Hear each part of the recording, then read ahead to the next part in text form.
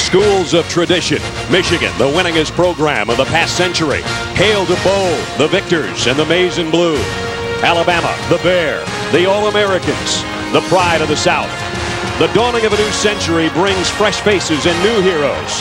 The Wolverines unleash a passing attack that set new standards and still can lay the rugged groundwork that says Michigan.